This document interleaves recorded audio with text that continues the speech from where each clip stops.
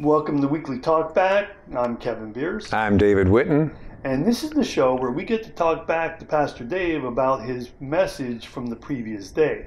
And this week, the message title was We Have a Problem.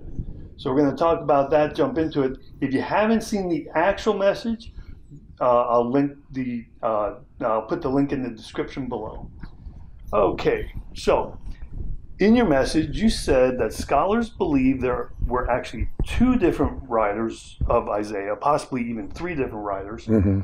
But what you didn't say was why that was relevant. So why why is it relevant that we know there's different, possibly different writers?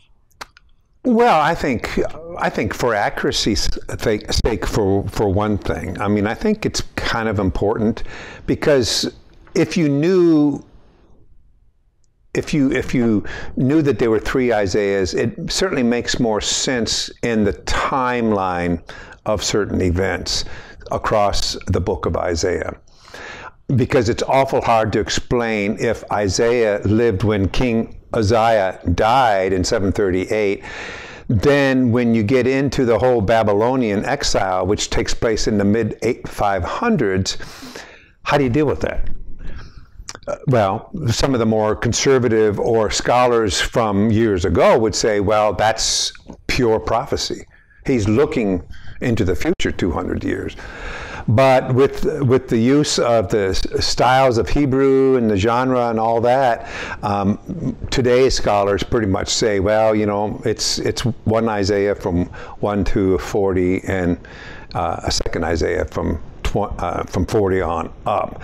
And it just makes more sense um, in terms of time frame and timeline. Okay. Okay.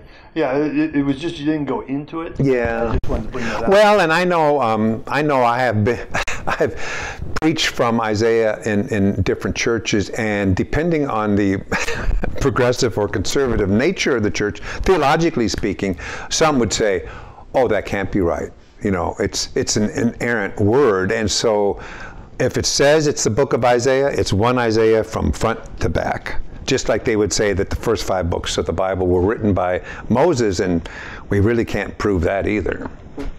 Right, right. So, yeah. anyway. And the fact that Moses says that he was the most humble person on the planet a humble person wouldn't say that. so it could have been a different writer who actually wrote about Moses. Yeah, yeah, and then that's what most people think. It's it's comp, a, a, a, a, compilation of different authors, and they kind of group it all together, and then they just pretty much you know say, well, Moses did this. Um, I think same with with Isaiah, but you know it doesn't take away from Isaiah's prophecies or the message that Isaiah is is seeking to give us. I just I put that in there more maybe for academic reasons, uh, in, in case someone in the congregation is interested in knowing that. I don't know. Was there anyone? Well, I, actually, I had already studied that. I already knew the answers to that. Uh, I was, you know, I was aware of that okay. understanding. Mm-hmm. I, I, just want to bring it up because you didn't actually go into it. Yeah, yeah, I could have gone into it more, but I did want to introduce the book a little bit, but I didn't want to get bogged down in, you know, academia. I just thought, let's do a little bit of introduction to it. Maybe I'll add to it this coming Sunday, and we'll just go along and uh, and hear what Isaiah has to say through that whole book. Okay. Uh, now, one of the things you do say in your message is that Americans have become selfish, self-centered, uncaring, rude, and disrespectful and yet, most Americans seem oblivious that they're caught up in their own selfish gains. Mm-hmm. Now, and then at another point, you said this is not unlike the times Isaiah lived in. Correct. then again, at the end, you said later, you know, because, well, later you quoted your grandfather from mm-hmm. a sermon in 1962. Right. And he seemed to be saying the exact same thing. Mm-hmm. So I, I had a question about this. Okay do you think that every generation thinks that the time they live in is filled with that same attitude? Yeah, I mean, I, I do. I think it seems like what comes around goes around in terms of our worldview. Um,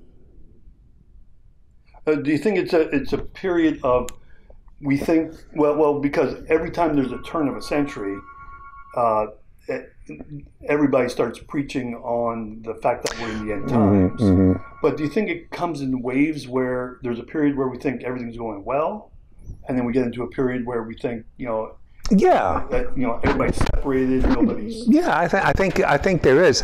I, I think if I remember right, way back in seminary, sem- seminary many years ago, one person talked about God's history as a linear line like this. You know, God created the heavens and earth, and then all the way over here where you know He brings a new heaven and earth down. But along with that flat linear line, there's this cyclical effect that goes along underneath it, right? So, in other words, we do have some years within that linear line that is. Um, that we do as a, as a whole, as a society, repent. We recognize our, our waywardness, and and we, we, you know we get on our knees and, and pray for God to uh, to forgive us and to guide us. And I think there are years that uh, we see that we've done that, and then slowly kind of fade away. And you know the Great Awakening and and uh, some of these other big revivals. I mean, are probably. Um, examples of that sort of thing. Is that what where you want to go with this? Yeah, yeah. I just, I just want to get a feel for where you saw that, uh, be, because, um, well, actually, I, I, that I wanted to bring that up at the end, but I'll bring it up now.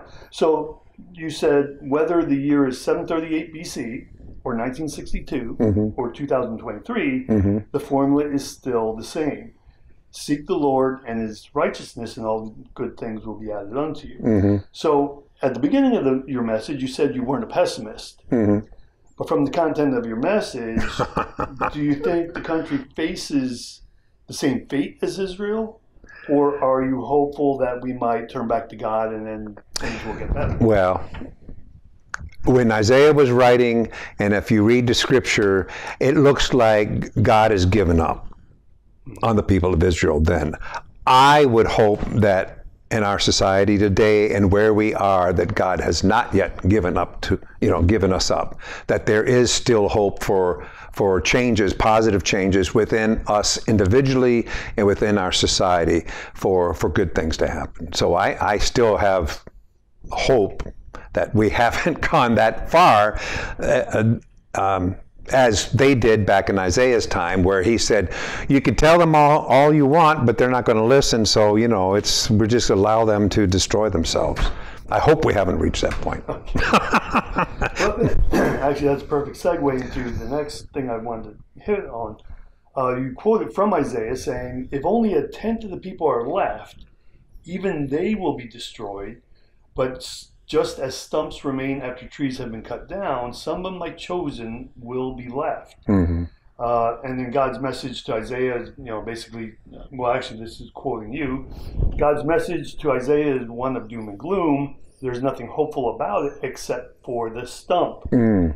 And then you said, you said, hold on or hang on to the stump. hmm We're not going to go there today, but hang on to it. hmm So, do you want to elaborate on what's coming in your messages? Well, um, not too much. I don't want to give it up, but you know, um, one of the famous Advent scriptures that we use almost every year in Advent is um, Isaiah 11, and Isaiah 11 refers to the stump, Jesse's stump specifically. Now, Jesse, if you remember, is is David's father, and so what what it refers to essentially is a ruler or a king or a Christ or a Messiah uh, will come out of that particular stump.